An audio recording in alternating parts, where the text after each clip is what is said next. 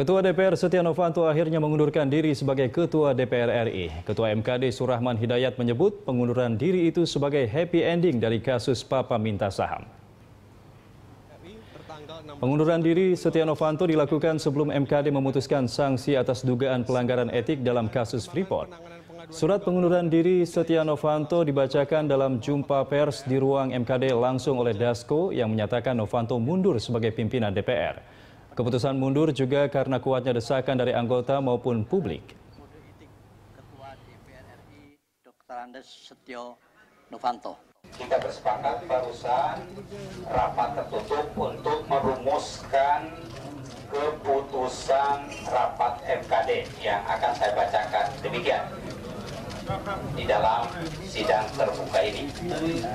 Keputusan rapat MKD Rabu 16 Desember 2015.